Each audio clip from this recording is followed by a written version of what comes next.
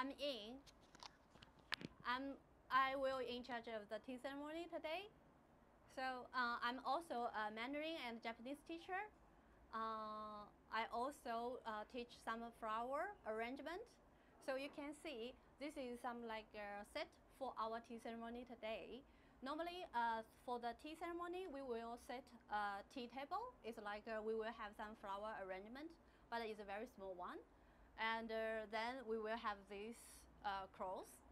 And today, we will just do, we will make uh, this white tea. I'm not sure uh, everyone already tried white tea. Nowadays, white tea is very popular.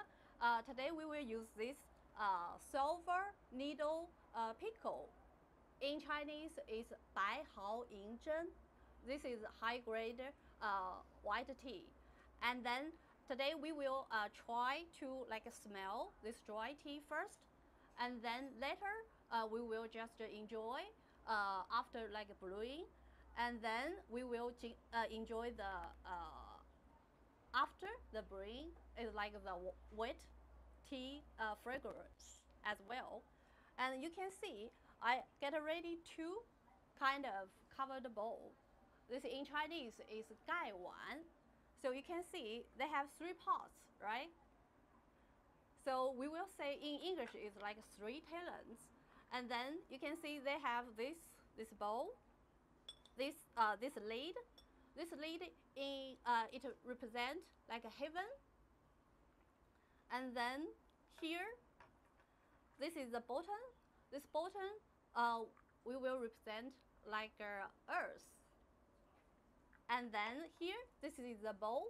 This bowl, we will represent like uh, people. So in Chinese, we will say like San Cai Wan is Tian Di Ren. So here, this one is Di, this one is Ren, and here, this heaven is Tian. So Tian Di Ren, something. So like uh, people is between. We have sky, we have human between, and then the bottom is our earth. Okay, so we will use this. Why I use two kind of uh, covered bowl? You can see this is glass one, and this is porcelain one. Uh, we are very porcelain for like uh, uh, you know China. If you go to Jingdezhen, you will find they have uh, like an Asian name is called Changnan. It's very similar as China. Okay, and then this porcelain one is good for like a snight, like a fermented tea. So it's exactly for like a white tea. But if we use this, probably you can't see the tea leaf dancing and also can't uh, like uh, observe the color of tea. So we just use this glass to make the tea. And at the meantime, we also will use this to brew tea. Why? Because this one, they will collect like a fragrance better than this. This one cannot collect like a fragrance. Okay, so first we will just uh, smell. We will smell this dry tea leaves. And uh, at the beginning, we will just uh, uh see the color. So this is self white. And also you can see very thick like a bud on it. So we can just uh, watch it and then we can just smell like uh, left or right. It's like something like this. Okay, so my assistant will just pass to you and then you just pass to each other, okay?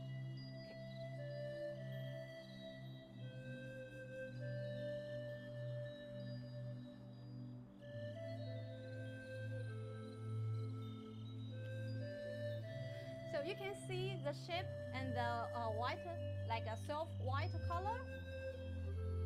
The shape, they look like a resemble a needle. That's why they say the self need like a pickle.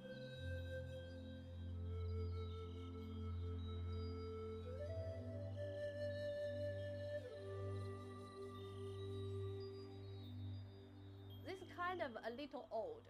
So if uh, the self little like a pickle this year, probably we will use like a, a more lower temperature to cook. But this one is like several years ago, so we can be a little higher. It's like uh, 95 degrees.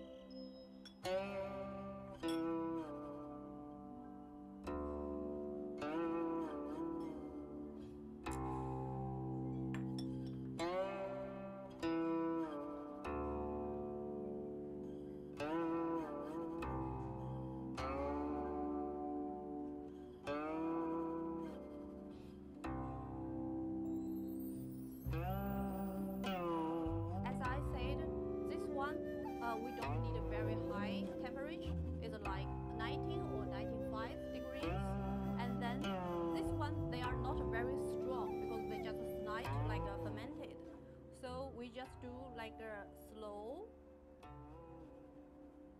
and then completely like a soak.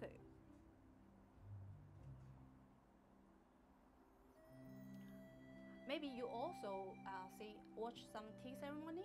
You will see they just uh, uh, they will just pour it out very quickly, right?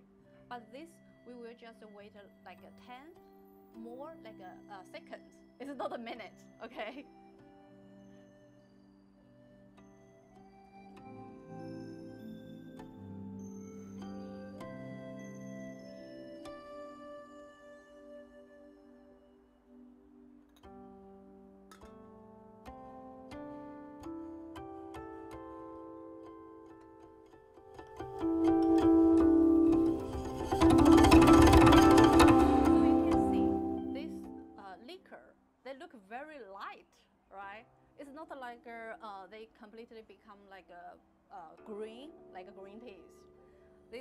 Kind of very white one is transparent.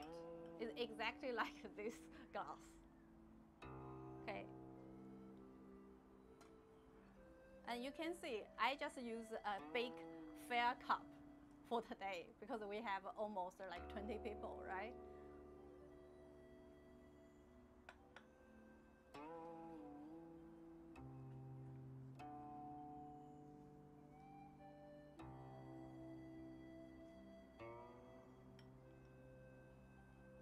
And maybe you will see this look very light. Maybe they don't have taste. It's not like this way. Because white tea, they are very fresh. It's like, uh, you will think, okay, green tea also very fresh. But white tea is more light. But they are very high grade than most, uh, a lot of green tea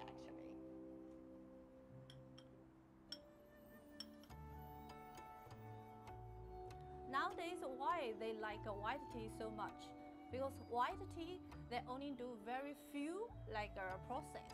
So kind of, uh, you just uh, avoid be uh, like a polluted, something like this.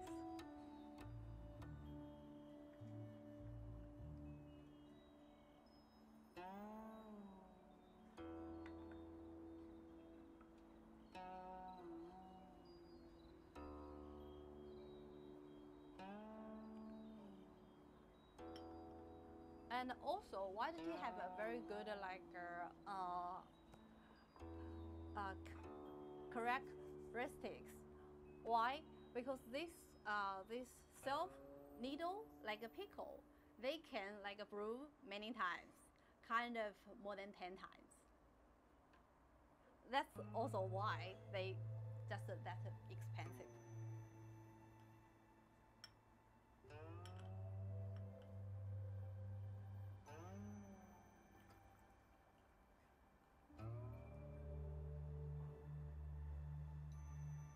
And also this fair cup, if you are not like a taste each like a brew, so this fair cup will even the liquor. So for example, like in the beginning, maybe they are not uh, completely like a brew, so they will be very light, like a very light. And then later they will be like stronger than the first brew actually.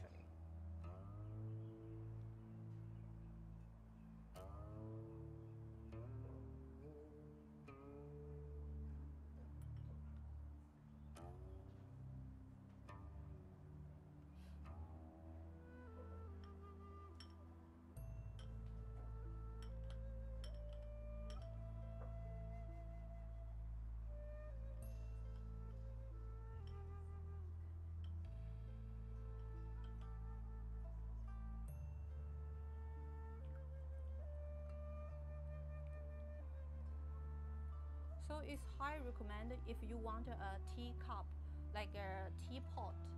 You can buy some like a covered bowl actually.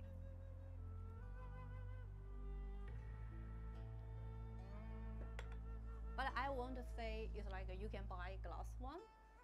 Uh, I think uh, better is like a porcelain one, or maybe also you hear like some pottery, like a teapot, right? Like 紫砂壶. That one also good, but that one is better for like oolong tea because that one can like keep the temperature. They just keep it warm. And also in summer, they even can keep like the leaf not decay very quickly. But that depends. It's real one, okay?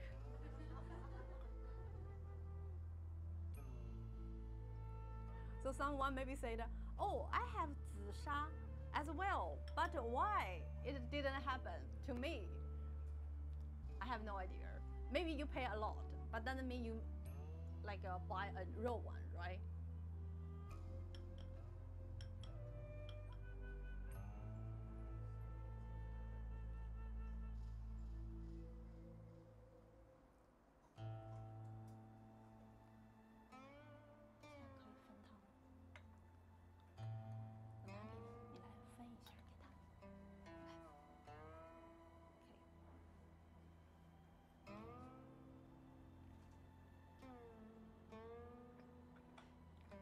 So later, I'll just make another one. This one, we can just have another like uh, another like a lick of this uh, self needle like a pickle, but we will just smell. So smell is more like a, someone will do like this way, you know, it's like you drink. But actually, mostly nowadays we don't drink like this way. We just use some cups for like uh, you drink uh, yourself but this most is for make tea. It's not like uh, in some, uh, we have a lot of German, right? German is like a kind of, they just use this to drink. Actually, it's not. Nowadays, we always for make tea. Nobody will just give you a covered bowl, say, okay, you can have tea by this covered bowl. No.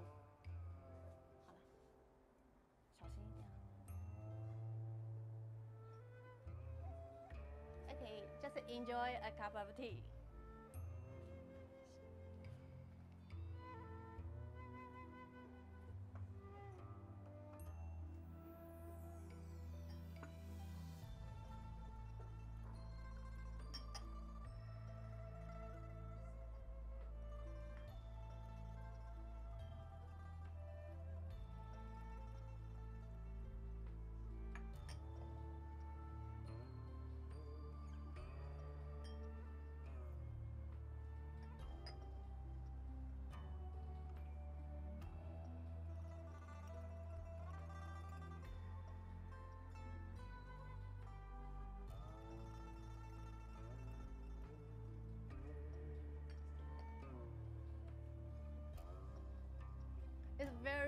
light, right?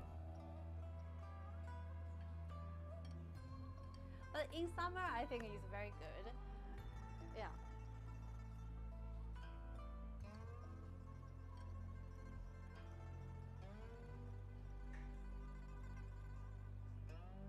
And if you like some strong one, uh, you also can just uh, to uh, purchase some Lao Bai Cha. It's like a Shou Mei. That one is older. So it's like a, what I mean older, it's like they use, they don't use bots. If the tea they use bots, they always will be more expensive. But uh, if the tea they use leaves, they, they will be cheaper. But it depends. For example, some someone like pu'er, right? Pu'er is black. Uh, actually, is not a black tea. It's dark tea. In Chinese, we will say it's hei cha, hei cha. They are like uh, they just uh, completely full, fully like uh, fermented. So if you keep it well, you can keep it wrong. But uh, for green tea, it's always you just uh, drink the year they produce. So we don't drink like uh, the next year. There will be, it's just a kind of wrong. It's like out of date, something like this.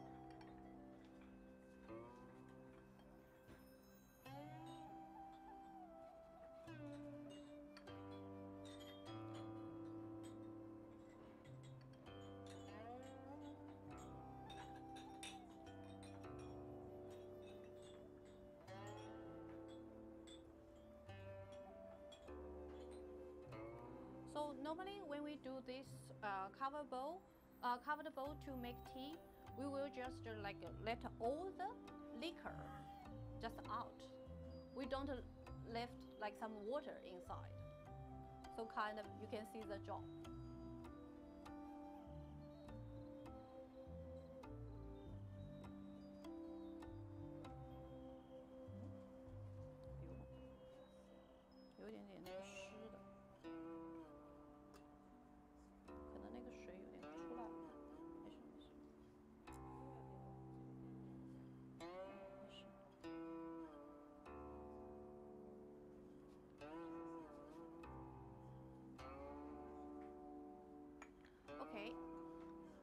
I just show you how to smell uh, these tea leaves after brew. So like I show you, we don't do like this way. We just do like this way. So j- just open a little bit when they toward you. So it's like this way. It's like, okay, okay，有点烫。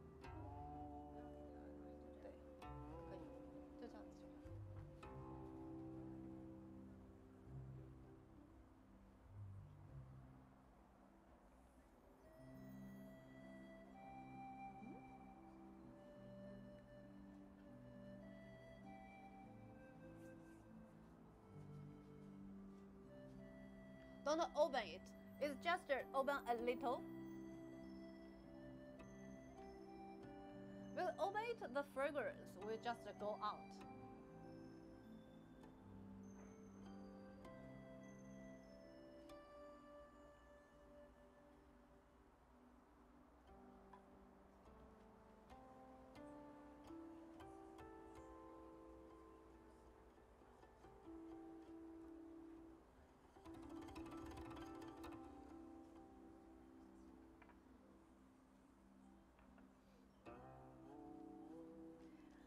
If you want to know more about tea, actually we have some like uh, tea ceremony.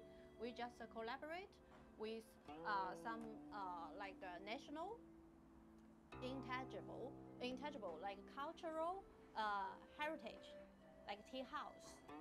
It's near uh, Hengshan Road. I'm not sure. I think everyone have been there or like nearby.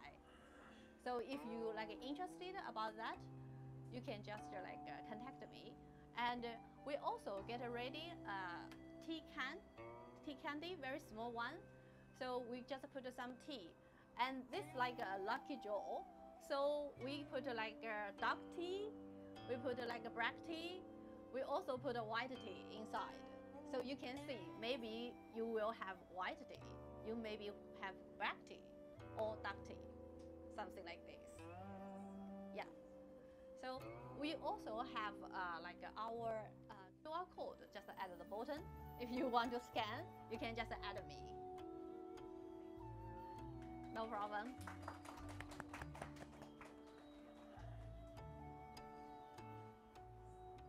in for such an inspiring um, ceremony. Um, I love that actually. Um, the way it's all very subtle, the way it's all very, uh, it soothes our, our palate and also makes us get very calm and very in tune with what we are going to experience today. Um, yeah. yeah, so we are going to talk about art as a tool. Um, Suleiman is going to present his practice, uh, his research, how he, yeah, we have now in the in the visuals um, his current piece that sits in the in the living room now, and I'm very curious to see whether how is his process and how he's going to introduce it to us. So. Yes, welcome and thank you for showing us. All right, thank you. So my name is Sulemana Armiao and um, I'm a sculptor. Let me say I'm an artist because I'm not just limited to sculpture, though that's my major. Um, I've been in Shanghai for four years um, as a student, um, a PhD student in sculpture in Shanghai University, and be graduating this year. So today I'm here to talk on the topic art as a tool in our everyday lives, right? and then after that I will talk about my practice as an artist um, over the years. So I titled my presentation today A Black Identity in Constant Flux. And while we go along, we'll get to understand why I titled it this way. So first, who is Sulemana Armiao? And just a little bit about myself. So I'm a Ghanaian, and um, I did my first and second degrees in in my country, and I've worked as a freelance artist, and I've also worked as a uh, studio artist in a studio called Osuramba Studio. It's a very popular art studio in my country, and I've been in China for four years, and I've made a lot of um, personal works and also some group works. And uh, while we go, I'll introduce to some of the works I have in China. Yeah, so straight to the topic uh, art as a tool in our everyday lives. So, how do we perceive art as a tool? I mean, if you ask somebody, a lay person right now, that's how, what's the importance of art, the person would probably just say, oh, it's for beautification, you know. but a deeper research on art will let you understand that art goes way beyond just to beautify the environment. So I just made bullets of these points um, that I'm going to talk about today. So the first point is that art is it serves as a tool to evoke our emotions and provoke thoughts and imagination. so everyone has an imagination, right? But. Um, everyone has an imagination, but how do we let it out? I mean, if you put someone in a room without any picture, without any image, and then you give the person paint, for instance, and a canvas, and tell the person to paint, uh, to, to paint whatever comes into his or her mind, definitely the person is going to paint something that is here. And whether it's beautiful to your eye or not, but that is that person's imagination, right? If you see a place once, unless you have a photographic memory, if you see a place and then I tell you that, okay, I'm going to put a screen here, and then I'm going to ask you to paint what you just saw. You might not paint it accurately. Whatever that doesn't exist here, that exists in your painting is just your imagination. So art gives us that liberty to create things that we imagine rather than just what we see. And then it helps us to perceive the world differently.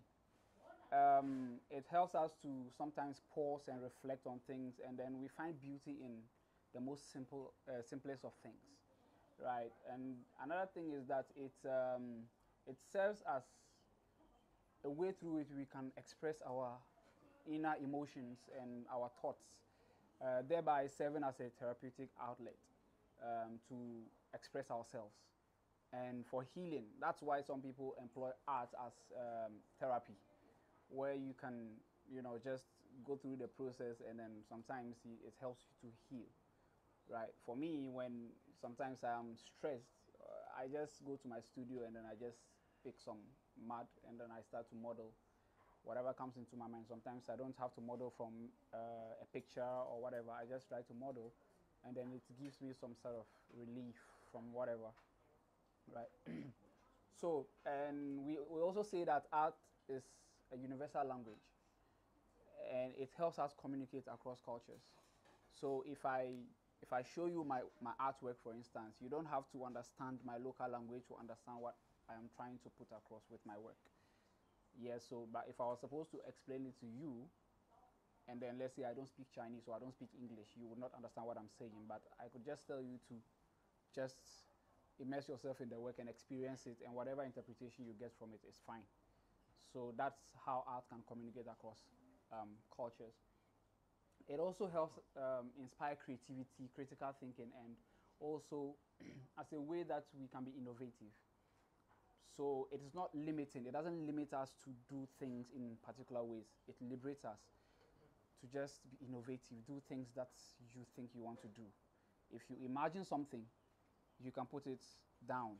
I mean, I can paint it, I can sculpt it, I can do anything. So, but you should not be limited by any restrictions or whatever. And then the most um, basic thing is that it transforms spaces. It, it, makes spaces vibrant, just like we all see in Marguerite's room, very beautiful.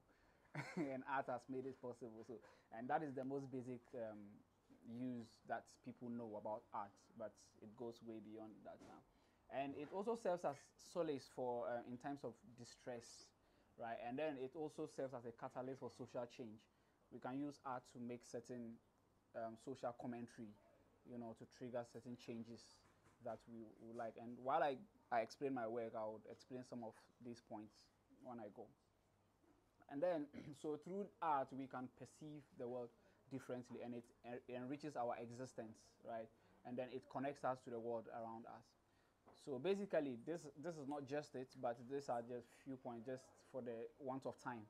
So these are the few points I want to share with regards to arts as a tool in our everyday lives. Now, straight to my, uh, my practice. So currently I'm working on a, a series of sculptures that employs the concept of post-humanism and like trying to merge post-humanism and sculpture in order to discuss or to reposition the black identity right so this is one of the works uh, that forms part of the project and i still have some and there are more i'm working on uh, i want to start from the basic now the idea about blackness or the black identity is that it, it has in the past it has often been told the, the, the concept of the black identity has often been told by the West. So they, they propagate who the black person is. And blackness has always been presented as a binary opposite of white. I mean, we've had this order that okay, white is on top and then whatever is in the middle and then uh, black is below. So it's always white and black. Whatever is in the middle is not really discussed. But blackness is always presented as if blackness is impure, whiteness is pure. If black is uncivilized, white is civilized. So this is how black identity has been presented over the centuries, right? And it all stems from the racism, I mean the the slavery that we suffered, some years back, and it's still part of our identity. It cannot be erased. That's who we are. But it does not define who black people are right now. But it still seems to be the case in certain places, you know. And there are times when I enter into the subway and nobody wants to sit by me, or someone comes close to sit by and just realize that, oh, it's a black person sitting here, I don't want to sit here, and then he walks away. And the question that keeps ringing in my mind is, what did this person see? Because I see myself and I'm like, oh, this is Armia, there's nothing special, there's nothing different about just a skin color difference. But this person sometimes you see some fright in the person's face and you ask yourself, what did this person see? But it all goes back to that, the way that blackness has been presented over the years. People read, people, and the, the West is very good at using media to present things in the way they want to. But now, storytelling, or let me say the, the, the, the concept of, um, I mean, the idea of storytelling is, has become liberal. And now black people have the opportunity to tell their stories the way they want it to be told, or the way it is. Right, and art is one of the mediums that we can employ to do this. So I employ art as my medium to tell people or to get my audience to reassess this notion about blackness, whatever they think they know about the black identity. Right, so what is posthumanism? Posthumanism is um, a concept or a philosophy that says that humanity can transcend itself. Right, so if humanity can transcend itself through um, posthumanism, like uh, through technology, through genetic mutations, it means that the whole idea about identity will be called into question. So if you are, for instance, Flavia, and then you are genetically um, mutated or something, and then do you still remain that person? What is different about you? If you are no longer Flavia, who are you now? So then, posthumanism gives us the opportunity to rethink about the human identity.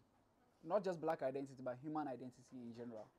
But then, if we look at this in the critical race theory, does blackness get affected by this? If posthumanity and blackness is merged, does it do something to the black identity? Does it call into question the black identity? Right, so I employ this as a way that when someone sees my work, if I didn't have this um, kind of post-human features in this work, you would probably just see the sculpture and you say, okay, maybe it's a portrait of somebody. There's nothing special about it if it was the case because it's just a portrait. And whoever the person is, then the work represents that. But in this case, there's a computer um, motherboard installed in the brain. There's something different about this person. So if you know this person personally and you see this sculpture, it tells you that there's something different about this sculpture. This sculpture is not just the person, but it is something else. And it just calls for a reevaluation of the person, of the person's identity. So we don't um, look at a black person and in the in the eye of the let me say the racist um, gaze, the black skin or the black body is just the black body. It doesn't matter who you are. So I am black, Joe is black, um, Taylor is black, and my boss here is black. So in the racist uh, gaze, we are black. There's nothing special. There's nothing different about Taylor. There's nothing different about me. But we have um, distinct experiences which define our identities differently. I'm totally different from um, Taylor. But in the eye of the racist gaze, like we are one, we are a black body. So the same, the same way the person will treat me, the person will treat Taylor in the same way. But we need to see beyond that. And posthumanism is a way that we can begin to imagine identity in, in general differently. So if we merge that with black identity or critical race theory, then we have to rethink what black identity is.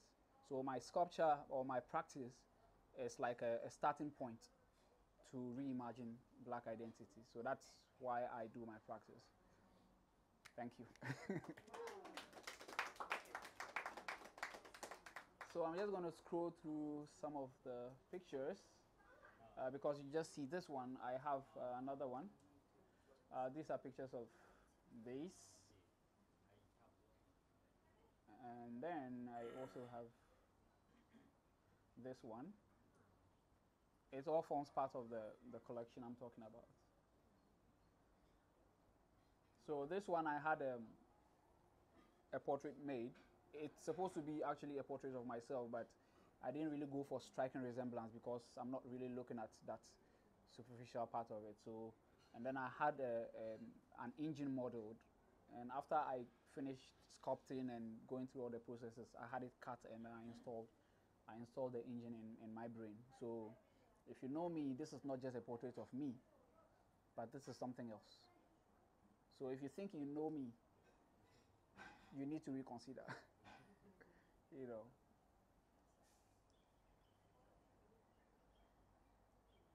Yeah, so basically that is, and these are my earlier works.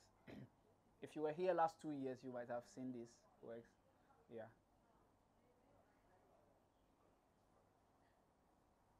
All right, so thank you very much, and that is it about.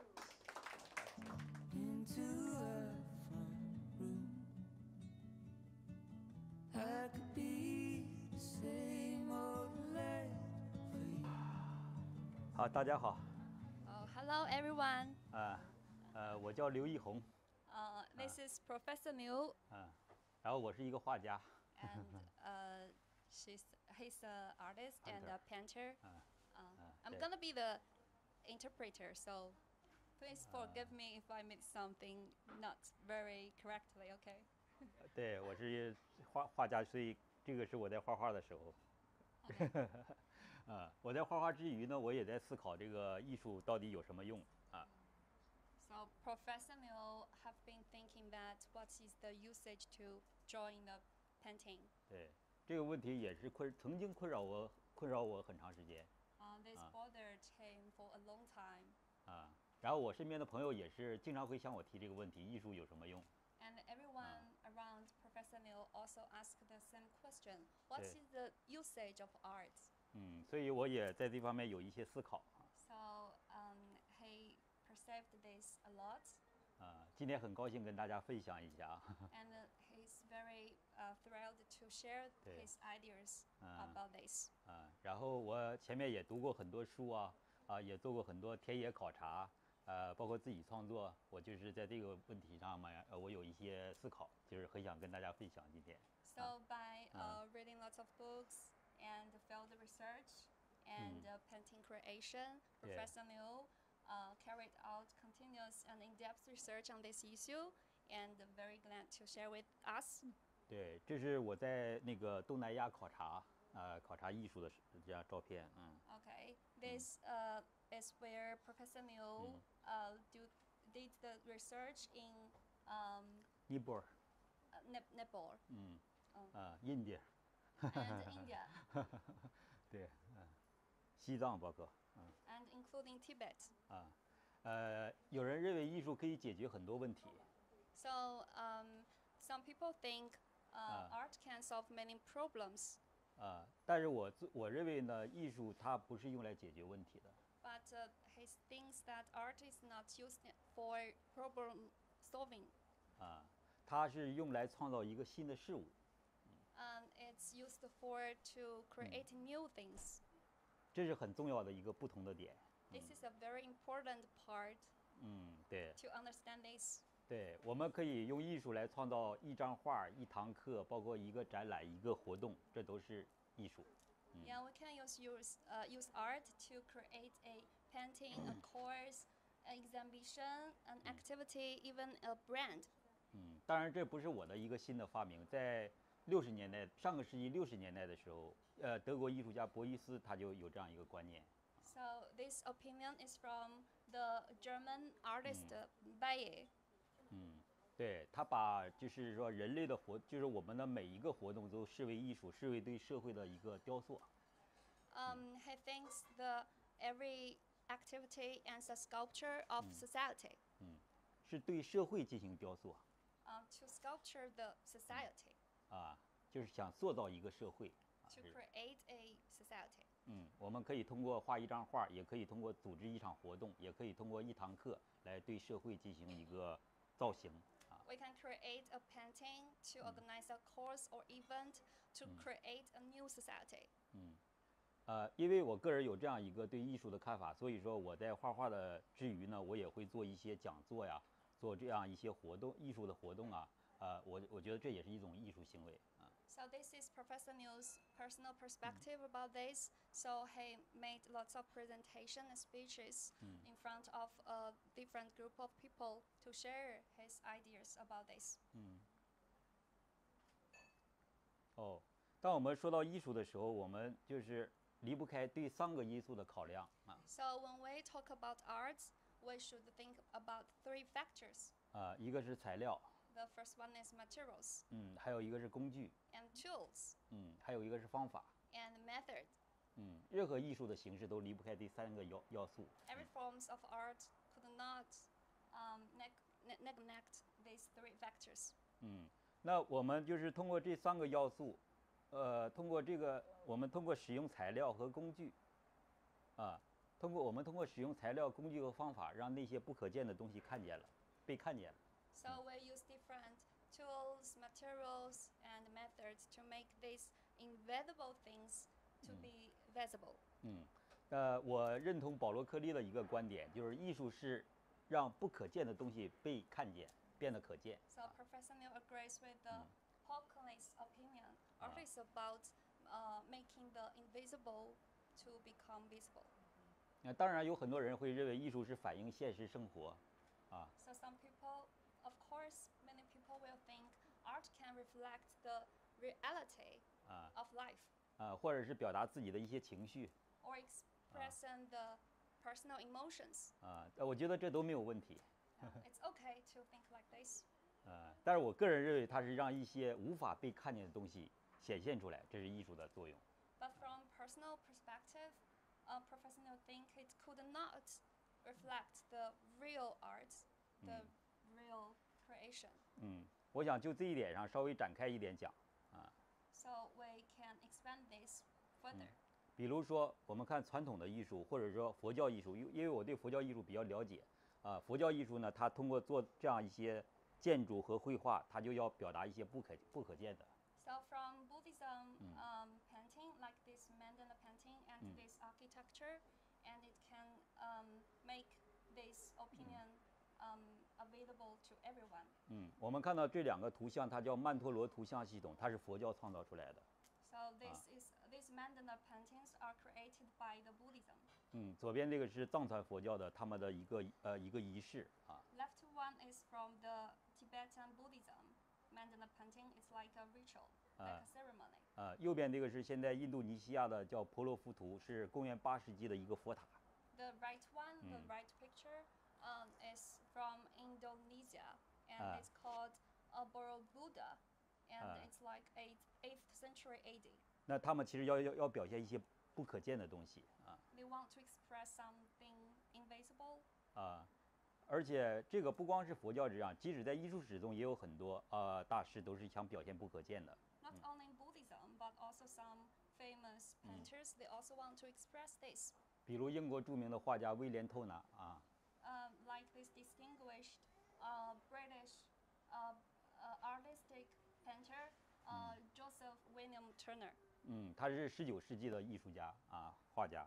Uh, he's from uh, 19th century. 嗯，他画的这两张画就表现圣经中的大洪水这个故事。Okay, these two paintings can um, express the stories in the Buddhism. 嗯，呃呃，然后大洪水发生的左边是大洪水发生的时候，右边是大洪水大洪水发生之后。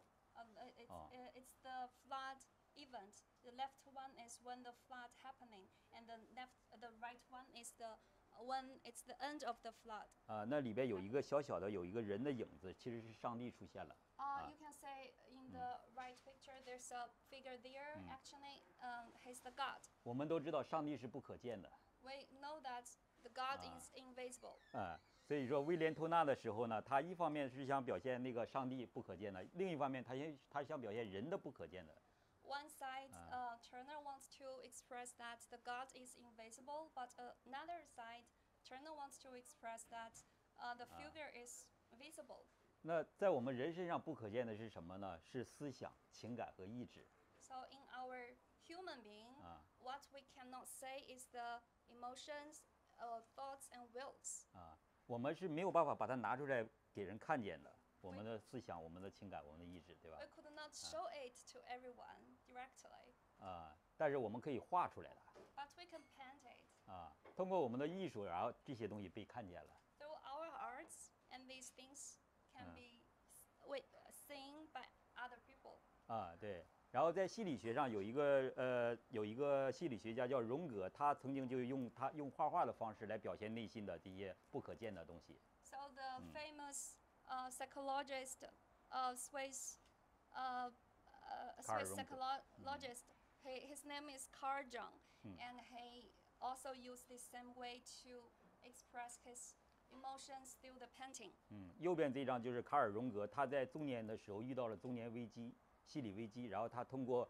呃学习西藏的这个曼陀罗绘画，然后他慢慢的就好了，就是疗愈了，治愈了啊。 Okay, so Carl Jung uh, drew this painting when he was uh, in his middle age, and at that time he was in a, a psychology problem. So he was trying to study uh, the way of painting, and uh, he tried his best to paint it, paint this uh, uh, uh, uh, mandala painting, and then he healed himself.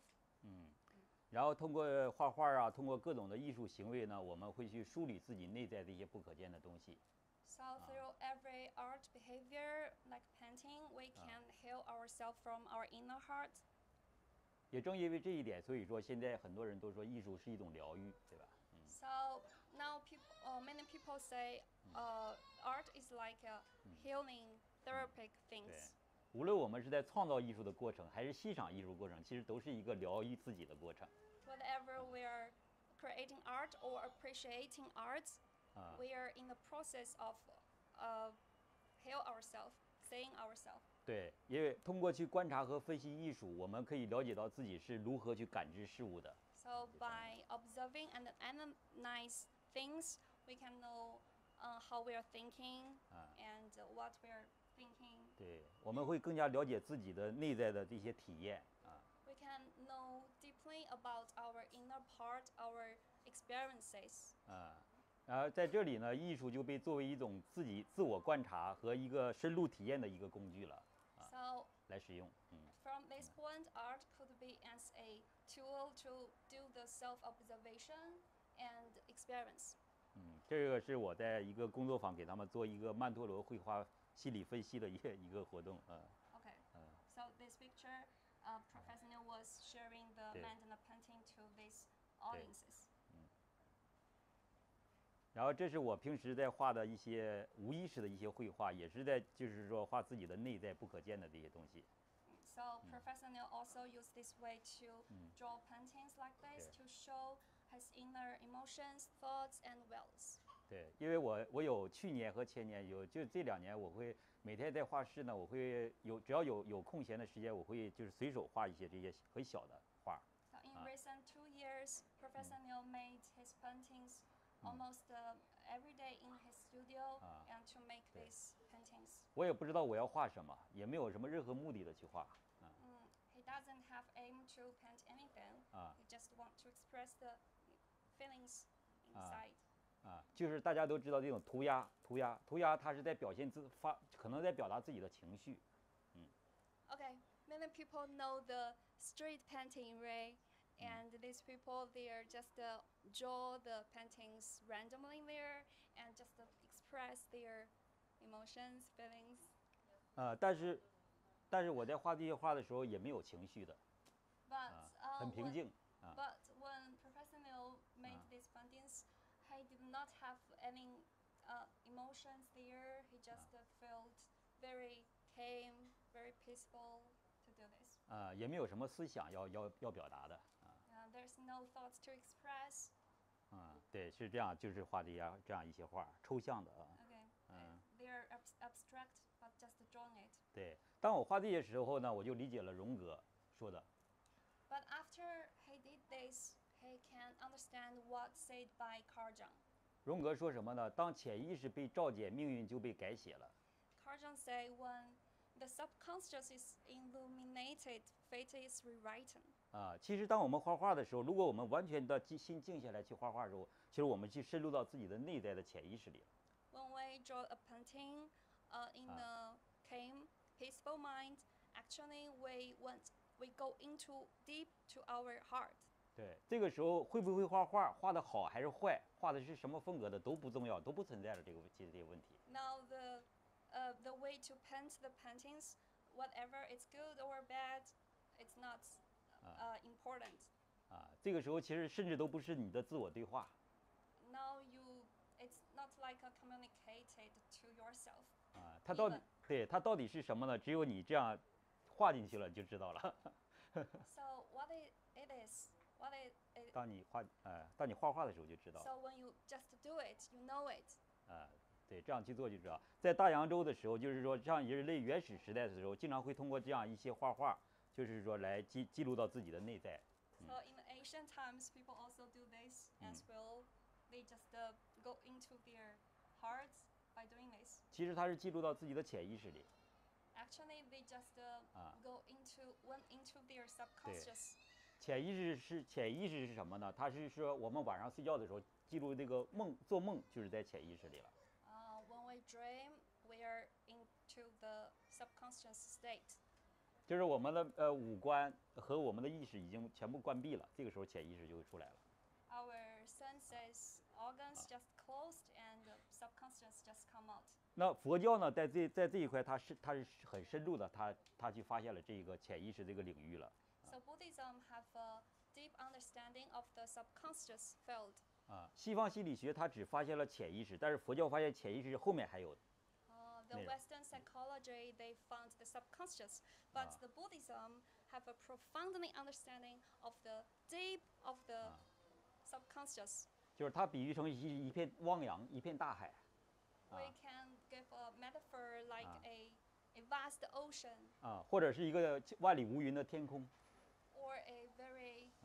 clean sky. 嗯，然后在古代的时候，那个僧侣呢，他就用这个画一个圆圈儿来代表这个佛教讲的人的最内在的东西 So in um, ancient monk, they draw the circle to represent the the, the, the, the, the human feelings. 嗯，然后这个圆圈儿呢是什么意思呢？我们用现代的思维来理解一下，就是说它本来什么都没有发生， Okay, the circle we can understand it like um, there's nothing happened. 嗯，这也是佛教的思想，就这个世界本来什么都没有发生。 This is also the Buddhism perspective that um, actually nothing would have happened. 我们经常说那个那个空啊，就是就是指本来什么都没有发生， Empty is like originally nothing happened. 因为什么都没有发生， Because nothing happened, 所以什么都可能发生。 so anything can happen. 这是不是非常哲学啊？This is so philosophic. 这个是禅宗的观点。那道家呢？中国是有道家哲学，大家知道的 So that is from the Zen 啊 um, 啊 point, and now we are going to talk about the Taoist philosophy. 啊！他也认为什么本来都是没有存没有发生过的啊。And uh, Taoist philosophy also say something Ah. is born of nothing. 用我们中文词就叫无啊 In Chinese, we called 啊无 like empty. 对，因为道家认为对道家认为一切的所有的东西都是从这个无之中产生的。Because the Taoists think um, all the things came out from the non-being, from the empty. 左边这个就是中国道家的这个符号 Uh, the next 道家哲学。is the Taoist symbol. 啊，右边这个是道家哲学在绘画中的体现，清代的一个画家画的。So the, the left one is drawn by a Qing, Qing dynasty artist. 嗯，所以我们看到中国绘画，你会发现它有画面里面有大面积的空白 So we can say there's a lot of space in this painting. 啊，因为这些空白的存在，所以说呢，那些黑的部分呢，它的造型就会凸显出来。 Because of the space, we can say the obviously about the black parts. 对，所以说从哲学上来讲，也是说没有这个白就没有这个黑。So without the white space, there's no black space. 所以说这个有和无是同等重要的。So, uh, being and non-being are both important. 啊，我们认为这个天和地、男和女、有和无、黑和白都是同等重要的。The sky, the earth, the land, um, being or non-being are 都同等重要的，都是平这就是平衡啊 yeah,。this is balance. 嗯，所以啊，所以通过刚才所见，大家看艺术让我们看到了什么呢？我们的生活和思思考啊，我其实充满了无数的可能性啊。So art allow us to say that in our life, they it's filled with uh, countless possibilities. 但很多时候是我们只会执着我们自己的一套想法 sometimes we just focus on our own thoughts. 啊。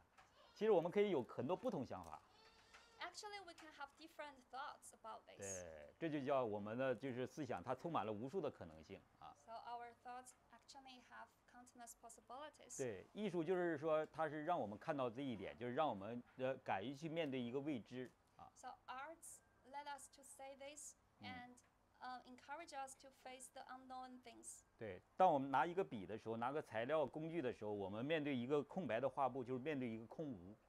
When we grab uh, the, the white uh, white white pa- black pa- paper, we are facing the empty. 对，想画什么样的画，这个是完全由自己决定的。 Um, to draw any painting is decided by ourselves. 啊，对，这个时候其实我们有的时候呢，我们会就是说，呃，把自己这个这个想法呢，就是可能就是按照自己习惯性的去表达一个东西 Mm, sometimes we just draw it with our habit. 啊，但是这个时候这个空白画布已经提醒你了， But actually, at this time, the white paper uh, really noticed you. 就是你有一你有无数种的呃方法可以去画这块画布 You 的， have countless methods Ah. to draw it, to Yeah. design it. 对你是不是可以尝试不用我原来的方法？ If you can try the different ways 嗯， rather than the original 对 thoughts. 你是不是可以尝试不用说我现在要画一个东西，非要去表达什么？ try to draw it without purpose, 啊，你只是去画就行了。 you 对 just uh, draw it, Ah. just pen it. 所以我说呢，刚才就说了，我说艺术不是用来解决问题的 So that's why Professor Neil said art is not used for problem solving. 啊，它也不是为了实现一个什么终极的目的 It's not trying to realize 啊， uh, or uh, uh, purpose. 它就是让我们意识到我们有无限的可能性可以去创造我们想要创造的东西。It's let us realize uh, that we can create many things, 好。lots of things, 嗯。countless things. 好，最后我举一个例子，就毕加索的作品，So um, let's. 毕加索 Professor Neil want to give an example. 啊，This painting is from Picasso. 在他的工作室里边有一个很废、很破的一个自行车，In his studio, there Ah. was a broken Ah. Bicycle. 他把那个自行车的车座和那个把手两个接在一起了，就变成一个牛头，挂在他的墙上，成为一个雕塑了。He put the bicycle seat and handle together uh, to become a, a cow the, uh, a cow's head and just hang on the wall. 对，这是很好的例子。This is a good example of this. 好，我要说的就这些，谢谢大家 that's。all. Thank Ah. you. 啊。Into a front room. I could be the same old lad for you. Hi everyone. I hope you're all comfortable. Hope you're having a good afternoon so far. Uh, my name is William Bakinde. I'm from Cameroon, and um, I've decided to uh, do things differently. It's no PPT. yep, I was going to send one on Thursday, but I was like, you know what? I don't do, I don't do PPTs. Mostly because I'm lazy. Nah. yeah. Yeah, that's that was a lie. I'm not that lazy.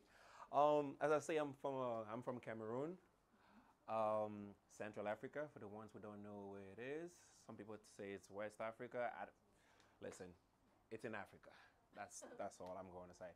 Um, I'm I've been in China for ten years, and I'm an entrepreneur. I own two companies here, a sports company, and an event company. Uh, the the company that people know the most is the event one called Bendo Community Group.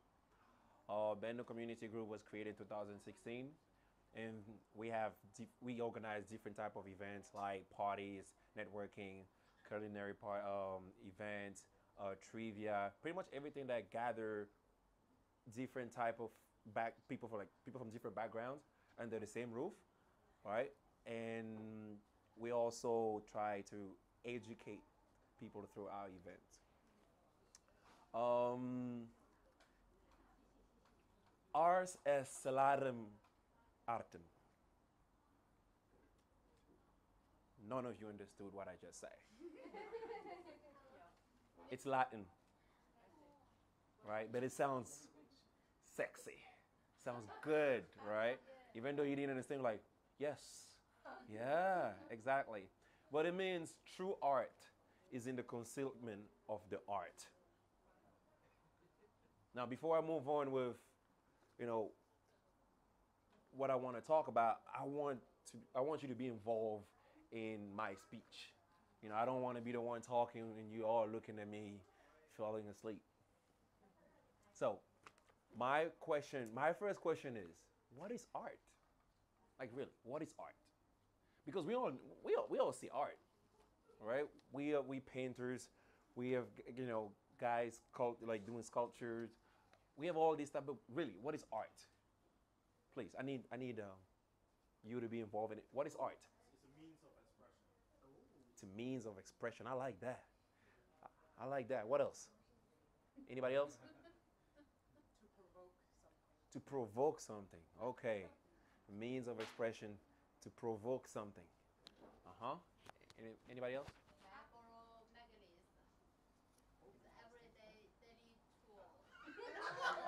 Ha. Okay. I like, I like the answers. What do you what, what do you think? What is art? Uh, I think the, it might be difficult to, uh, to to to put a particular definition on art. I- If we define it, then it's not art because it's liberating. Do you understand? But let's say, for the purpose of just a discussion, it's a, a way of expressing oneself through whatever medium the person deems fit or is comfortable with. Hey. I like I like I like I like I like I like it. I like I like it. I like I, I love all these answers. And this is exactly what I want. You know, I want us to have a discussion. I don't want it to be a TED talk where you all looking at me, you know, you're in the dark, all light is on me. Right? How many of you have been to any of my events? Just raise your hand. Raise your hand if you have been to my event, any of my events. Not yet. Not yet. Zero. Right? Okay, because my next question was going to be what did you see? What caught your attention? Right? Because we all here talk about art, which means we see things differently. Differently. Right? I could I could see this painting right here, and what I see is not exactly what she saw. My way of what I think of this is could be differently than what he saw. Right? Now, going back to the definition of of art. Yeah, to me, art is um, it requires creativity. It's something that requires creativity, uh, imagination, um, attention to details, and unders- and understanding who you targeting. Because not every art target, you know, you don't. When you produce an art, it's not for the everyone, right? It's for a specific, specific people, right? Because it's really difficult to create an art that everybody's going to like. If, hmm? or understand, right? A couple of years ago, I had somebody who said, "Oh, my everyone likes my art." I was like, "Who are everyone?" Please, you mean your family and your friends? And the few people who've, who've you know, been to your event, right? And the guy was from uh, Nigeria. I was like, when I look at his art, I like it. But somebody from Indonesia might think, yeah, this is not it, right? Now, in addition, um, art requires a certain like the ability to anticipate potential issues. As as a event organizer. Right? I'm not even going to call myself event organizer. I'm an artist. I see myself as, as an artist. Why? Because let's say we're looking at this painting here. You have no clue how the artist start, where the artist the artist start from. Right? You tell me if I'm right or wrong. When you're looking at this, where do you think the artist come from? Right? So what I'm trying to say is like for everything to run smoothly, for the for the art to to be to to to be smooth, the um how do I the, the intricate mechanism me- mechanics of planning has to be invisible. And this is what we do, art event um um event organizer. You come to the event, you sit down. All right, let's say for example my my food event. You come, you sit down. The food is coming. You don't even pay attention how the food is presented to your ta- like to your plate. All you want is I want to eat. You don't see what is on the table. Right? You don't see how long it took for this event to be what it is. It's the same thing as a painter. Right? But as a as an event organizer, we're not seeing an artist. What we're looking at, when we say artist, we're talking about a chef. Every time when a chef cooks something, like, oh, it's so good. Look how look how good the food is. We're looking at a painter. Oh, this is amazing. But when it comes to us, oh, it was good. The food was good. What about the little details? What about, you know, the countless hours of negotiation? Right? Because I think my job as as a painter who has a, who's using different type of brush, of different type of brushes to do his work. If he uses the wrong brush, then his his work is not going to be exact thing, exactly what he has in mind. Just like you talked about earlier, right? It comes from here, but it's something. If if it doesn't go exactly how he saw it, it's not the same thing anymore right? So, as a, an entrepreneur, as an event organizer, I like to call not only me, but even all the everyone else who organize event as artists. Now, why do I organize events? I wanted to say something when I came, like when I got in here, I had something in mind. I had something specific. I'm, I organize event because I like it. It's fun, you know. I make money. Uh, the reality is no. No. No. I, I, I, that's not, that's not, that's not true. It's not true. And I've got to realize that it's not true about an hour ago having a conversation with the ladies over here. You might find it strange, like, what? What did they say? Like, what did they say that got you change your mind about me organizing event? You see, as as she mentioned, I'm a Pisces. I'm Pisces, right? We absorb things that's going on around us. And I've got to realize that to realize that when I absorb something, I got to find a way to let it out. So how do I do it? Through my events. Let me give you an example. When I opened Bendo Community Group in 2016, at that time, Shanghai was different. As a as a black person, we were not attractive. Let's put it that way.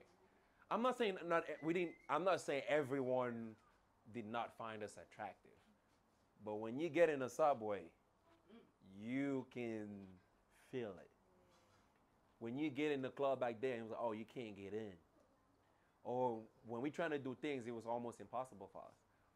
And as an African, I didn't really see things that I saw back home when I where I was growing up. I didn't see what I got to experience when I was in the U.S. So there was something missing. So taking all these things, like oh, I go, people scratching my skin, people doing this and this and that. I was like, you know what? I need to do something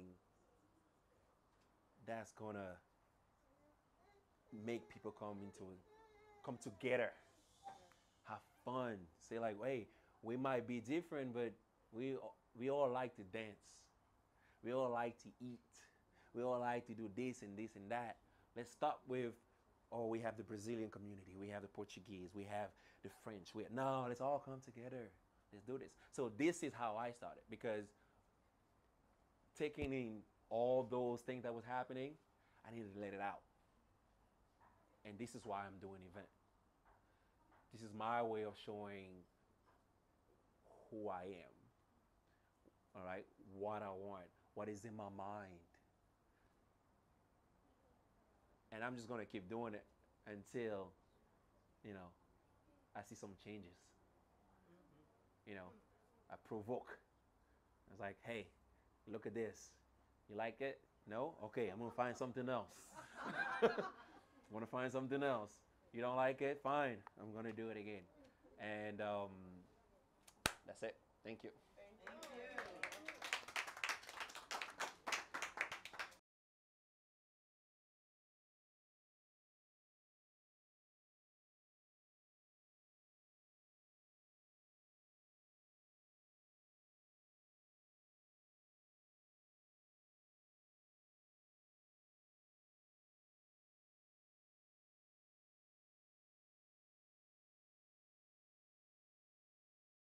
Um, unexpected in a way because so many interesting ideas have been shared. Post-humanism and this whole idea of thinking or revising um, black identity, and which is a topic that I am very fond of, as you know, being Brazilian myself and being all, um, you know, uh, thinking and discussing decolonization and processes and the museums and thinking maybe. So, you know, and then Professor Liu um, giving his perspective about um, art, about. Uh, I was actually very curious about you bringing so many Western ideas because I was really expecting you to bring more um, Chinese perspective, and so maybe we should dig a little bit more into that. And then William, uh, you know, bringing this whole idea of art being um, not only being referred to as the material thing, but also art, art as a process and art as a way of thinking. Um, yeah, in a way that we can, I mean, as a writer myself, I see my writing as um, an art form, and I was, of course, um, taught to, to think like that as well. But you bringing your um, perspective in your practice as events organizer and entrepreneur, as an art form as well, that's very um, that's very inspiring. And maybe everybody should think or consider themselves as artists in this sense because we are, yeah, we're bringing the idea that art is not only about process, but also as a way of expression. So, yeah, I'm curious. Uh, maybe we should start. I mean, this is not. I mean, I'm just as an. I'm just here to moderate and to provoke. Um, but I like to think this more as a conversation. So everybody's super, you know, invited to share your thoughts. Um, but I would maybe start by, yeah, trying to understand why um, we keep on using um, European terms, and especially because you're not in Europe, you are very far away, not only geographically but also ideologically from Europe. So why do we insist on using terms that are being um, brought and invented or you know conceptualized in Europe in when we are so far away from there? Um, and I'm, I'm, I'm thinking about uh, post-humanism, but also I'm much thinking about decolonization, right? So I just would like to hear more from you about it. Uh, well, I, I, know mean, it's- inflammatory issues. yeah, um, the idea of using using um, European terms or those kind of um, things to fight against them. uh, in- Yeah. Let me put it in that way. It's it's really a concern. It's it's really a concern, and sometimes it it it makes um, certain movements or certain um, attempts to look as though they have failed. I'm going to go back to a term called Afrofuturism. Mm-hmm.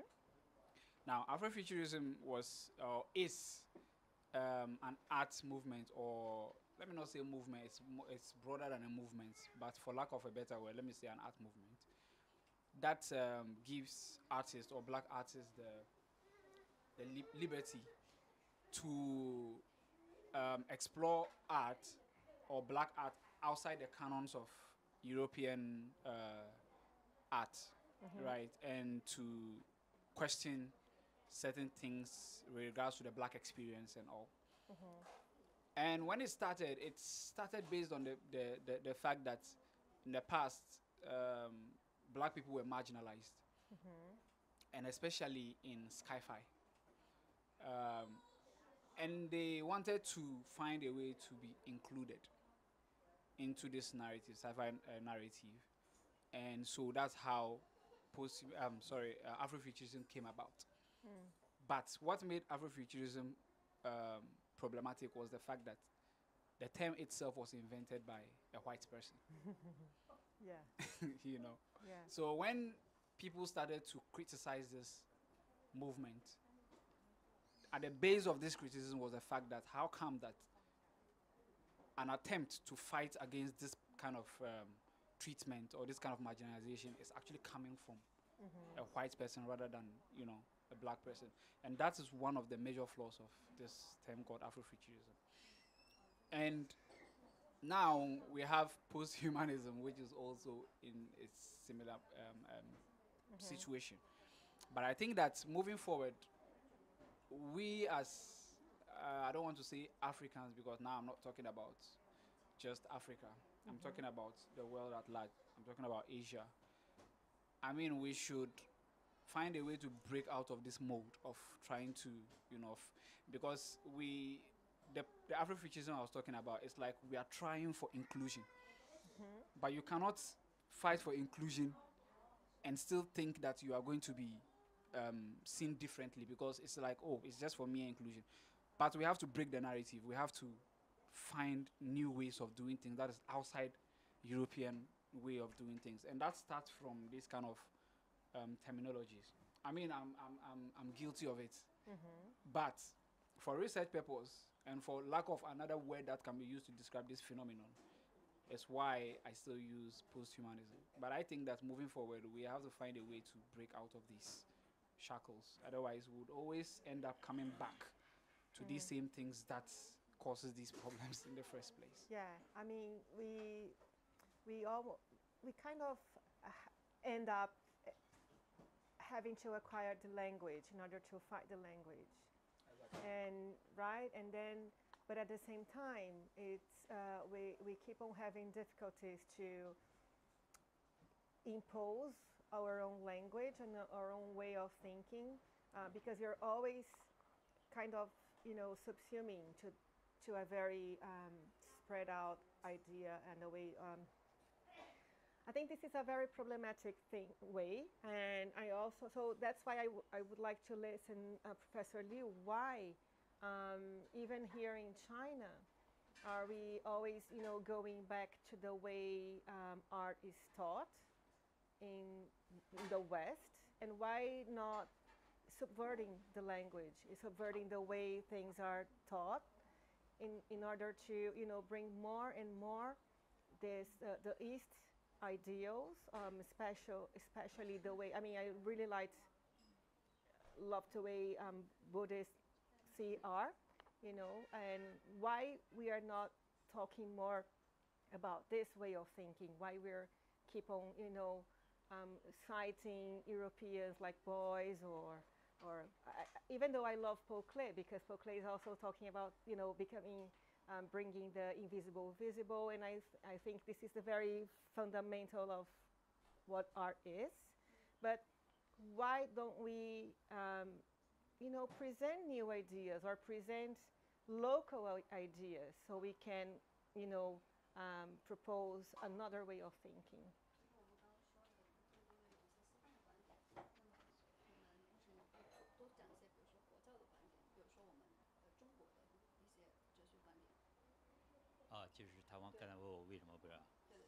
我讲的就是佛教的观点。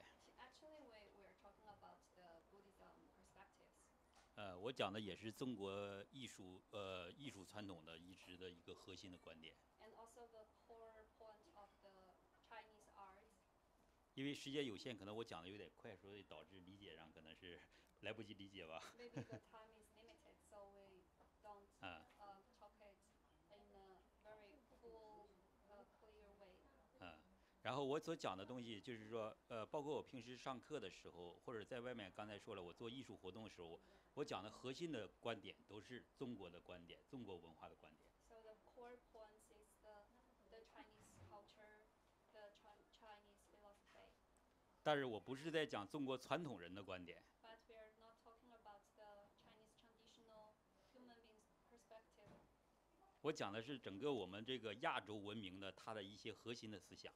And uh, we were talking about the, the, the main points of the Asian culture. 对，亚洲你知道有中国，还有印度，The Asia, including China and India. 对我们有远东，有中东，对吧？啊，有有有有比较远，有有不东方，整个东方世界其实是人为做人为这个叫什么现人为这标标出来的，标签出来的东方。Okay, so Ah. the east, uh, um, the east, the east direction is actually marked by people. 对，其实我们学艺术史的知道，东西方一直是东西方一直是交融的。So learning uh, Chinese, uh, learning art history, we know that the uh, Western and Eastern culture actually is inter uh, connected. 嗯，我认为，对我认为他们本质上是一样的。In essence, they are the same. 对，这但是表象上是不一样的。But uh, from the appearance, maybe it's a little bit different. 啊，有很多种的表面的形式，但是我一直是讲表面形式之下的这个核心的东西。There are many forms of the art, um, but Professor wants to talk about the points under this appearance. 所以我个人不认为东方跟西方有什么本质上是有什么区别的。So there's no difference between Western and Eastern art, uh, philosophy things. 所以这也导致了这个他怎么称呼我呃 Uh, 导呃导致了弗莱文呢，他认为好像这里我没有听到东方的，好像跟西方不一样的东西。我认因为我认为它本来是一样的。okay, so Professor Liu think they are the same. So um, he wants to talk about Paul Klee and Turner, but also talk about the um, Buddhism perspectives. 嗯，因为各种原因呢，是西方的这个就是策展人呐、或者是艺术家、文化文化研究学者呀，他们会对东方呢其实是有很多不了解，所以他总会想象一个东方有一个跟他们不一样的东西。Okay, so maybe 是因为什么来着？呃，因为一些因为各种原因吧，啊，因为各种 for 原 some reasons or factors, 嗯 the curators or people from uh, Western culture don't know a lot about Chinese philosophy, Chinese culture. 就像我是一个嗯对就像我一个中国人我没有去过非洲我一直在想象非洲是什么样子的 i am a chinese chinese and i did not go to the africa then i the africa image just it's like imagination in my mind 但是我坚信一点我所有的想象当我到了非洲以后肯定都不是这个样子的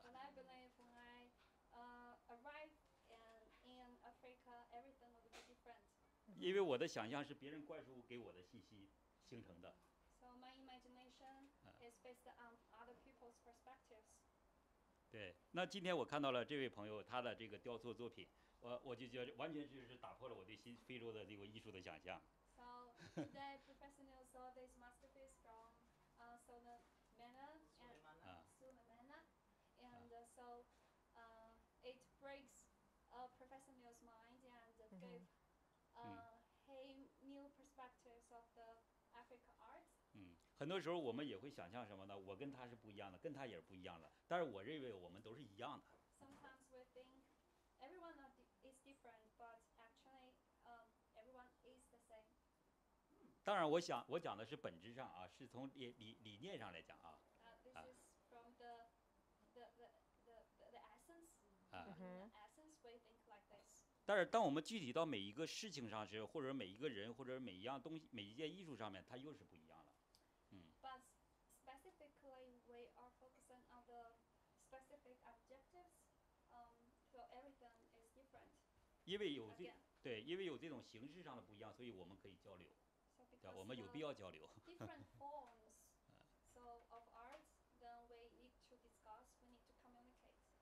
对，我觉得他的这个问题特别好，就是啊，特别呃，问题特别好，就是他很想知道，就是我们中国人是怎么看待艺术的，是吧？就是多讲一些这方面的，对。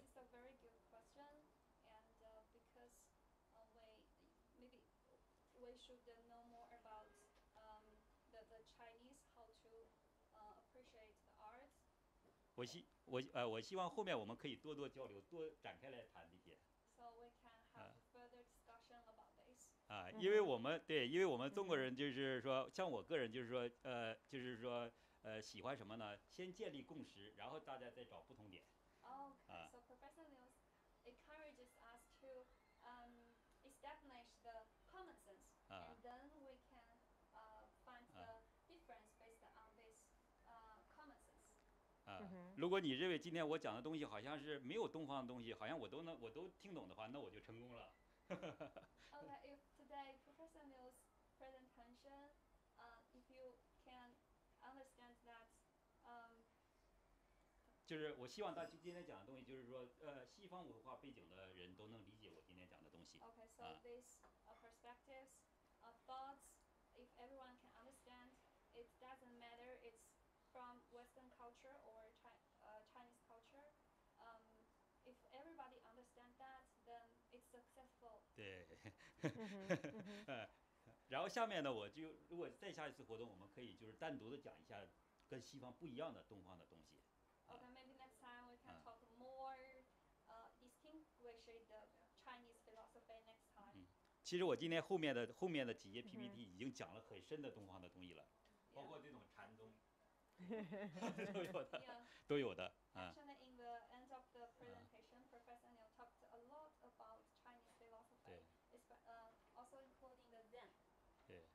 包括这种都有的，这种 The, yeah, 啊，这种都有 the Zen. 的，这个都有的 But maybe it's a little 这个 bit 后面有。 abstract 嗯 and uh, ，PPT 里都有的。 yeah. Yeah, I was. I, I, I guess I was curious to to to really understand more about the, the differences because we, I think we understand the similarities, but the difference are differences are important as important as the similarities. And but he brought something that was um, very um, very crucial to understand because he says basically we come, you know, art can be expressed in many forms, but also, but we, we, we have a method.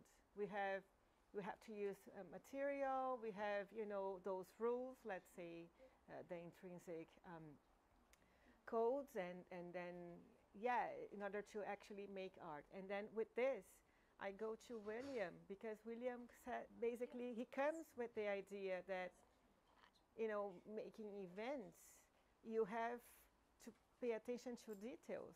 So you're basically saying, yeah, there is something about the form that is intrinsic to uh, making art, not only about making art like art objects, physical objects, uh, but also you know creating experiences because I un- understand that events are also about experiences people will have, right? Yeah. Um, I think events is more like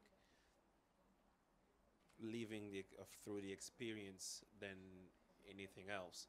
And in order to to in order for the clients or whatever you want to call, you know, people who come into your event, in order for them to go through the experience, there, there's a process. There's a process that that is put in place, you know, for that to happen, and that process is invisible to to the to the client, you know, to the customers.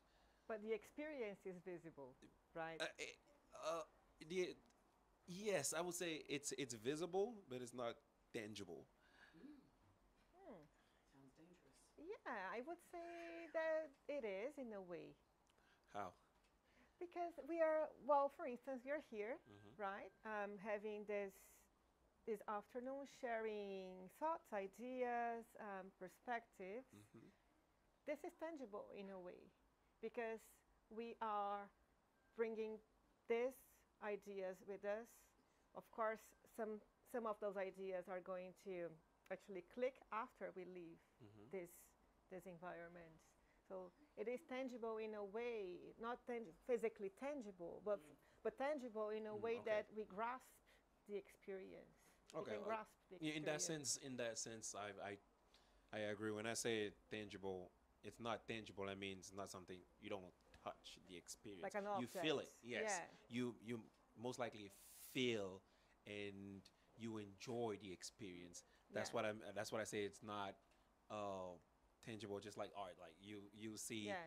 this one and you you're able to like touch it. You know, see, uh, feel the the material through touches Mm-hmm. you know, and also this one. But it, when we're talking about events, it's about how is how is this making me feel, Mm-hmm. right? So if you don't have, if you, if if the feeling is not positive, that's how you you get to like realize, okay, I don't. To me, this is not a good event. Mm. I don't like this art. I would say, Mm-hmm. right?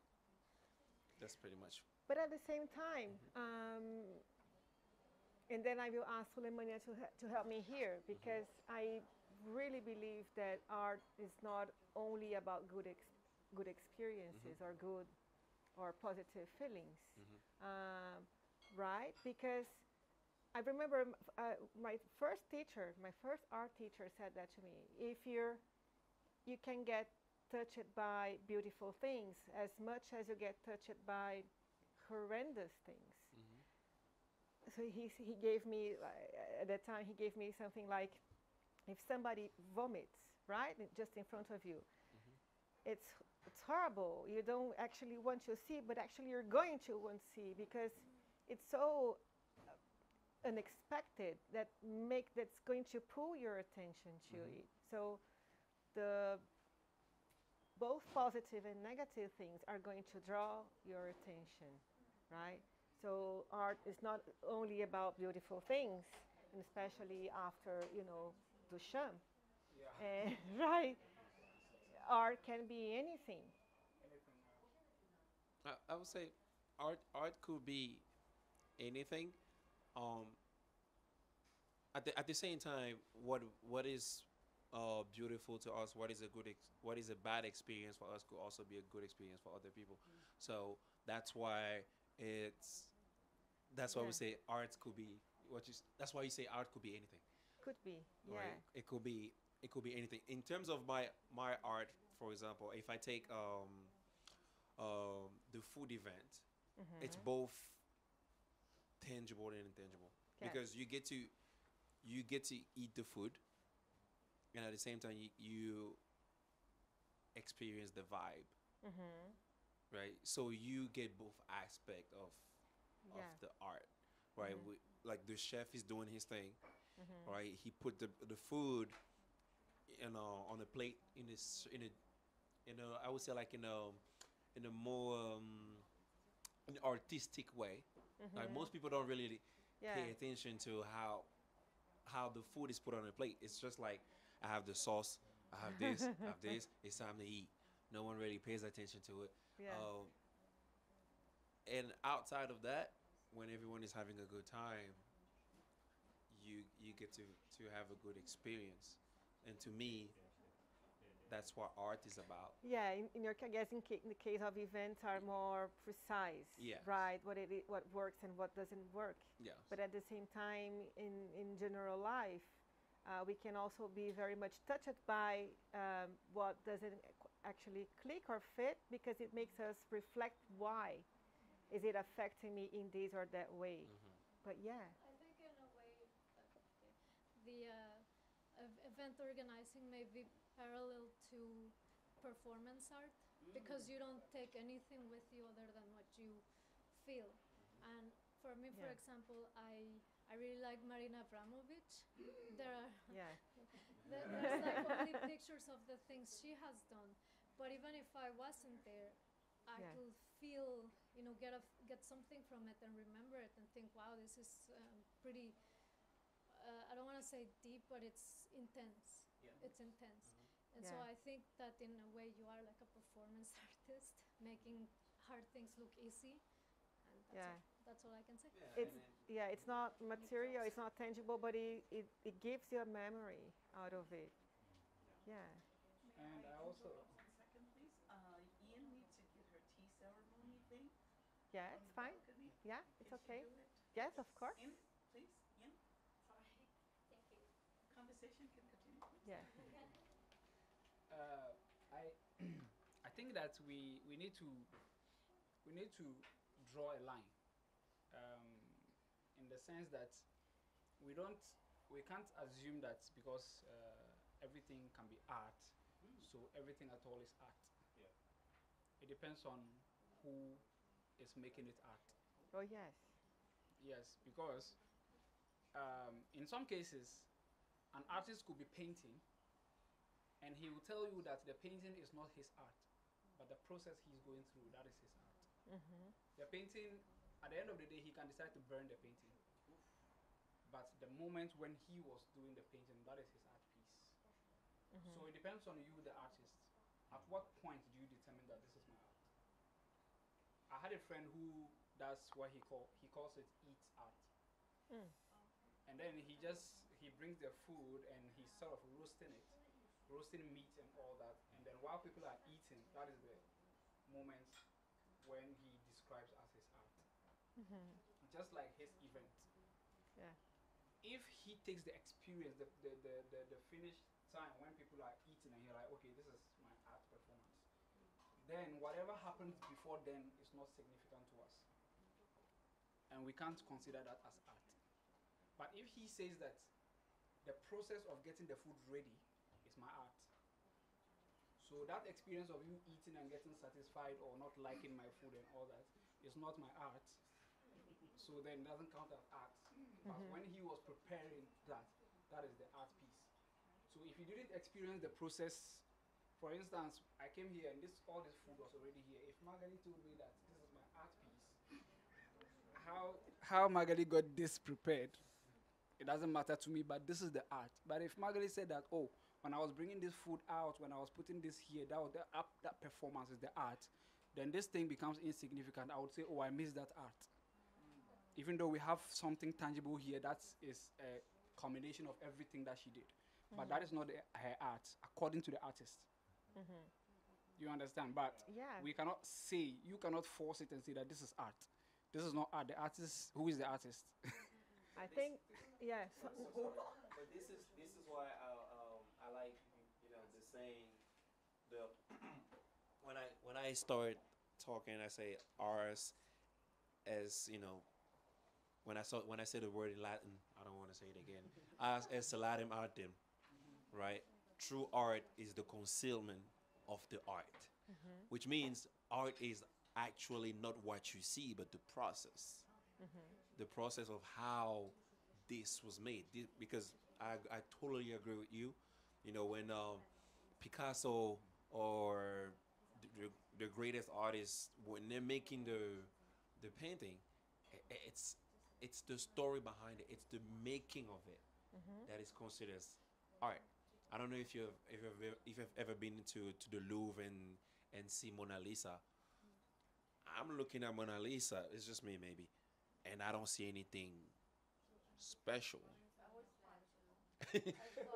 it's just behind glass, and you're just like, to me, it's just a woman, right? But then the story, the story of Mona Lisa. Mm-hmm. That's when I was like, oh, this is powerful. That's the to me, that's just the true art. Yeah, the intention behind it. The intention Right. behind it, how long, the love behind it, and the story behind it. To me, that's just that's the, the true art. Yeah, but I guess uh, we are both we are all agreeing, right? No, I, I, I have it, so I don't yeah, keep it, keep it. Yeah, so yeah, I think we are all agreeing at a certain level because we are basically seeing how art happens in a time when maybe only the artist is confronting the object, uh, name it canvas, like a white canvas or I mean, um, a paper or even, yeah, like a blank, a blank paper, basically, right?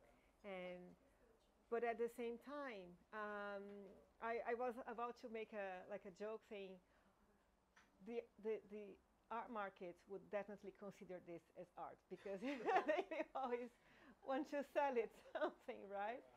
So yeah, I mean, but yeah, as an as a curator or in someone that really you know accompanies artists in, in their making, I can definitely see how the process is really really important. But um, yeah, no, no, uh, no. I'm just actually paying attention to him that he wants to make a question. Yeah. So I have a question. So if, if art then is um, focused on the making and the process, I have a very controversial question. Do you think that um, art is something that can be taught? To like, c- you can teach someone to to do art. Do you think it's something that can be taught, or do you think it's something a bit more um, innate? Um, it's uh, it depends on the person, the individual. It's something that they're they're born with. Um, yeah. Who wants to answer? Maybe Professor Liu wants to answer that.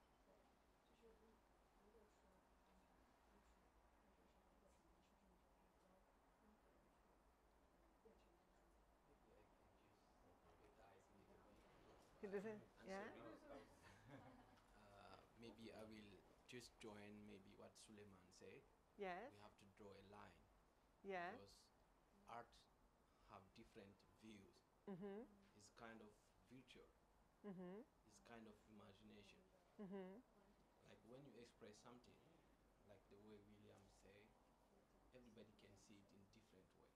Oh yes. Yeah. But what you are passing to people is like the message. If you didn't ask, or maybe if you didn't know more about the art, it's gonna be different to have like same idea of the one who made the art. But exactly, the art is like to improve like your skills, like to show up something you have taught. Mhm. That's why we call it is virtue Mhm.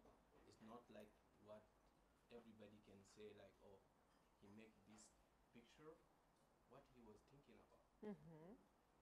Yeah. What it is, his intention, right? Yes. so yeah. that's why i say in this kind of virtuality can improve his skills by showing up what he's taught Yeah. yeah so it's kind of like that Do you want to answer? Uh, who is who wants to answer the if art can be taught? Sulemana, maybe. Yes. I'll leave that to you. Um, as to whether art can be taught, uh, it's a, as you said, a controversial question. but truly, um, it depends on what aspect of art you are thinking about. Is it a skill? Um, because why I say is it a skill is that if I just want to, let me use my work for an example. I mean, I'm very good at capturing details. I can capture resemblance. And it's a skill that I was taught. which I developed on myself eventually. So I was taught. But the ideas cannot be taught. It's from within. You understand? And um, the fact that I make this and it looks very good, like technically, like it's it's very good, but someone else can actually articulate this same idea with a very ugly piece of work. But it's still art. So we can't say that because the person was not taught to make it look as good as mine, then it is not considered art. It's still art. So I would say yes, art can be taught, and no. you know, yes, in the sense that the skill can be taught, but the art goes beyond. Now, uh, let me say, in contemporary times, art goes beyond just the skill. We've gone past the time when it was just about trying to get a very good piece of work. Now it's not about oh this work is very nice or this work is very good. Now we've gone past that. There, there, there, there's an artist I've forgotten his name. I think he's from Switzerland. It was an exhibition and he took a very large room, and you walk into the room and there's nothing. It's empty. Just the only thing you see there is the details of the art piece. And what is the art piece? Is the void, the whole space inside that room. That's it. And he sold it for I think two hundred and fifty thousand dollars. Oh, the Italian guy with the with the mark on it uh, in the in a. Like he, he exhibits in an empty room, like nothing inside that room. It's just oh yeah. Okay. complete space. Mm-hmm. So how can this be taught? That's why I said that for that one it has to do with the. With Yeah. This. So, it depends. Is it a skill? I can teach someone how to draw. I can teach someone how to model in sculpture. So I'm teaching the person, and I cannot say that's not art. It's art. Mm. It depends on the the road the person wants to toe. So you consider the skill to be art? Not the skill, but the the the. I mean, what you you you produce from that skill is art. And when I was saying, when I was speaking earlier, I was talking about the fact that we we we have to be certain when when the artist says this is my art. Do you understand? If I'm doing this work, and I say that this finished work is not my art, but the process I was going through when I was doing it, that is my art. Which means that one, it's either I could have performed it live by modeling, people watching me, and then when I finish modeling, I'm like, oh, this is not important to me. This is probably just a record of what I was doing. Right? But I don't consider this as my main art. My main art was the process when I was going. Or I could actually just set up a camera, record myself doing it, and then I put it out there as my art. And this is not significant. But for me, this is my art. What I was doing in the studio is significant, but it is not the art. It's significant to me because of the experience I went through when I was doing it. But how are you to experience that? You can't. The only thing you can see is this finished piece, and this is my work. And what I want is for you to interact with this work and then get a feeling or get an interpretation out of this. So this is the mm. import. This is my artwork. But someone else could have said that, okay, the experience of, I mean, the time I was going through. If you, I bring all of you around and I set up, I bring my mud, and then I start to model, and I'm like, this is the moment. This is the my art. So it becomes like a performance. So the finished work does not matter to me, but the performance is what was important. But for me, these are my artworks. My time in the studio is not my artwork. Yeah. Uh, does Professor Liu wants to, or maybe William wants to add something? I, I wanna, yeah. Oh, you wanna? Yeah, yeah, yeah, I mean, I'm observing. Oh, nice. Uh, so I was just um, uh, kind of observing and then and, and taking it in. Obviously, I'm learning a lot. Um, but I've just to maybe bring back an old idea. We were talking about the artist as the as the creator and Mhm. how he interprets his art. I think perhaps also not uh, or consider the the observer as well because there are two parts of it. There is a creator and then also the people who who it's meant to be shown to, you know. And in, in some form, in some cases, they are can also be considered artists in a way. Say there is a, a creator of certain art piece or a movie or a film, and then there's the critics who watch and then try to make sense of it in their own interpretation, you know. And so, uh, perhaps it's also a give and take affair. Mm. And again, art in its contemporary term, mm. um, it's just gone out of the traditional create something tangible mm-hmm. people see. Mm-hmm. But now, again, can be interpreted in many ways. Art, Some artists don't, don't probably would not show their work. It's just their process. But then, but they also just know or like for us to appreciate the fact that there are other people who perhaps don't have the skill, but they have the eye on and interpret things differently. And some artists appreciate that. You know, they make art and have no descriptions for them or anything, and they just leave them to the observer to actually create something out of uh, maybe an abstract piece. And so sometimes I, I just want to point out that sometimes the artist or the art is not just only meant for the artist, but also the bystanders or the observers. Sorry to grab the microphone. So uh, he mentioned about the expression of an empty room. There is a void as a description of that art pieces. It reminds me um, my meditation practice. Also, Professor uh, uh, PPT, it shows like a nothingness is also everything. So a lot of time we are trying to define what is art. This is art. This is not art. But if uh, we can letting go the attachment of art, so the label art doesn't define what it is. We see things as it is. So if we can allow ourselves letting go the attachment, what is art, what is not, which means everything can be art, yet nothing is art. So in this case, we don't like uh, uh, like say struggle anymore. This is art. This is not. But we are more open-minded because when we have achieved the emptiness, the very high level of non-attachment, then and it everything can happen. So the art can be a performance or the process of taking photos or tea ceremony or event organizing. So in this way, like art can be everything, yet nothing is art. Or so it's the philosophy of uh, non-attachment. So we don't attach to the term.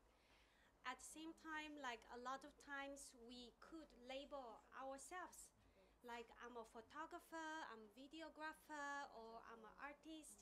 But if we don't attach to the role we play in life, or we don't attach to the attachment of how other people see us or how we see us, then we allow ourselves to have the opportunity to be anything that we want.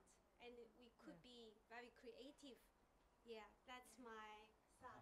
I love that. I think that's why we are all here in China because we really want to, yeah, not be that attached to um, an European construct of what art is and is not. And and I and I especially love um, your presentation, your, your because I mean I guess that's how that's why or maybe that's what some of the artists were trying to were trying to say when they said an idea can be art when we are talking about you know conceptual art from the 60s and 70s of course my references are mainly western because you know that's where i come from but i'm here because i want to have another perspective on it. But yeah the uh, everything can be art even an idea but at the same time nothing can be art as well. So yeah Non-attachment. Yeah, that's beautiful. Yeah. Um, any other questions do we have? Any other ideas to be explored? Yeah.